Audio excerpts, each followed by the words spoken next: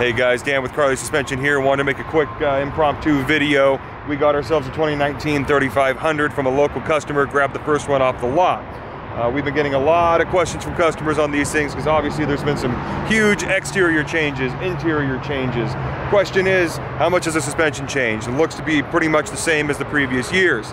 Uh, in this quick little video, I want to run over what we found because of all the questions we've been getting, we've been super eager to get one in here, test fit that 2013 to 2018 product line, see what needs to change, uh, and see if it's gonna be a big deal or not, and if we can come to market super quick, or if it's gonna take us a little bit.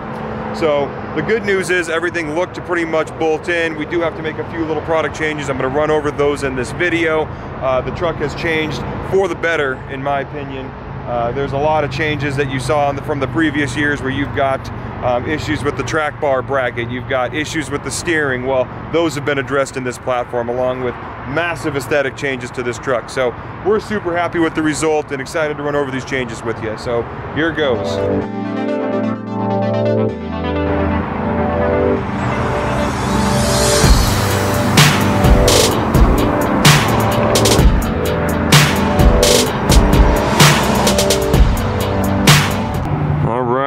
Got shocks and coil springs. We've got torsion sway bar. These are all current products. Uh, everything bolted in with the exception of the sway bar. We got a slightly more narrow frame width on this uh, 2019. So there's gonna have to be a change there. Uh, the coil springs and shocks went right in. The radius arm drop brackets right here, those went right in as well with some hardware changes. With the massive new factory exhaust, you can't even fit a standard nut between the exhaust uh, and the frame rail or radius arm drop bracket, so we got to do some hardware changes there. Now this is where we're seeing the biggest changes here. Uh, they went ahead and upgraded the factory track bar bracket to a Ford reminiscent forged bolt-in bracket. No more chintzy sheet metal brackets with a brace and a brace for a brace and a recall to nutsert the brace for the brace for the brace. Looks like they finally fixed what they had going on with the track bar, so huge improvement there.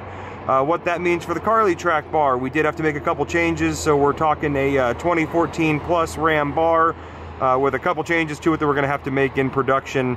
Uh, should be coming down the pipe with that relatively quick, but now we know what we're doing. Uh, for the steering, looks like they did a pretty big upgrade on the steering. You can see physically how large this steering system is. Again, an awesome change, and you can also see they went away from the problematic jam nuts and adjustment collar that nobody knew what they were doing with, that they recalled and told you to bring into the dealership so that they can now weld the nuts after they tighten them and blah blah blah so you've got a standard pinch bolt and you've got an adjustment collar there pretty easy uh, I don't think any alignment shops are going to be screwing that up. I mean, it well, less of a chance at least that they're going to be screwing that up, but uh, way easier to work with than the currently recalled problematic jam nut style steering. So that's cool there. Uh, Carli diff guard bolts directly in. So tested that on this truck, no problems whatsoever. That thing bolted straight in. Right, so as I said before, we've got this truck here that is an auto leveling air assist. That means that uh, it's got factory airbags, factory leaf spring packs, uh, and the part number on our leaf spring packs you'll notice is the same for the 2013 Up Plus whatever trucks. So we are talking the same spring pack goes in this. Same airbag spacers we were running before. Uh, the relocation for the height sensor, uh, same exact bracket that we use. So everything here, we were pretty lucky, uh, bolted pretty much straight in with no drama. All right, hanging out on the passenger side frame rail here by the radius arm drop bracket, you can see the factory air tank right there for the auto leveling air assist trucks.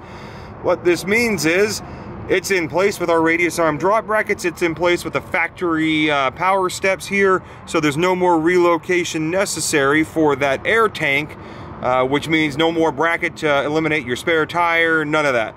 Uh, less expensive, less complicated. It hangs out up there. Dodge fixed it. No more amp step problems hitting it. No more radius arm uh, drop problems hitting it. So everything's good there. Again, they rarely make things cheaper and easier, but in this situation, that's what we've got. All right, now let's talk wheels tires. Uh, Fuel went ahead and hooked this customer up with a new set of their uh, podiums. It's a 20 by 9. It's a 5 inch backspace, so a 0 plus 1 offset. Uh, pretty standard stuff. Uh, everything worked out great. Wheels look great. Tires fit. That's a Nitto Ridge Grappler 37135 R20. Uh, trimming to get all this to work. There was a little piece of uh, plastic little cap right here that goes in.